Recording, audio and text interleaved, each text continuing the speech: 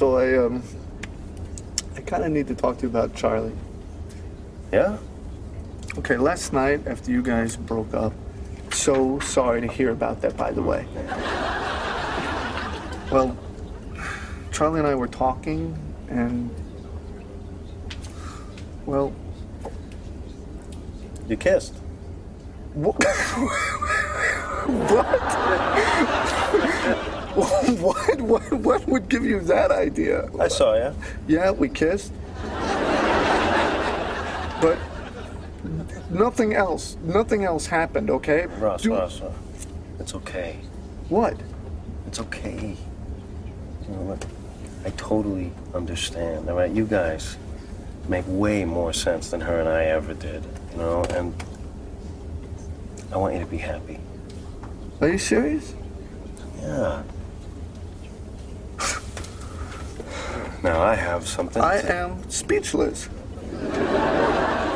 I mean, the fact that you would put my happiness first like that, I mean, you, you're an incredible friend. Do you know that?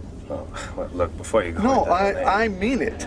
I mean, you are so, you're so loyal, man, and, and selfless and generous. I am those things. Yeah. You know, I've known Chandler longer, so I always think of him as my best friend, but now I may have to rethink some stuff. Dude. Hey, if there is ever anything I can do for you, I can't think of anything. thanks. Yeah.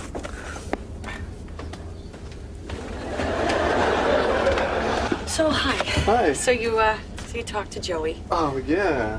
We had a really good talk. Oh, that's great. Yeah. Oh, so everything's okay. Oh, no, it's great. Oh. It's great. He's, he's an amazing guy. Oh, well, obviously I think so too. Man, I, I'm so excited about this. Really? Excited? What, are you kidding?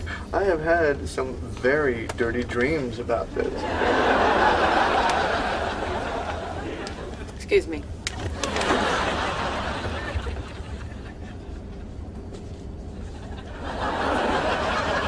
You didn't tell him, did you? I couldn't. He was saying all these really nice things about me. I didn't want him to get mad and take them all back. I'm gonna edge out Chandler. Oh, God.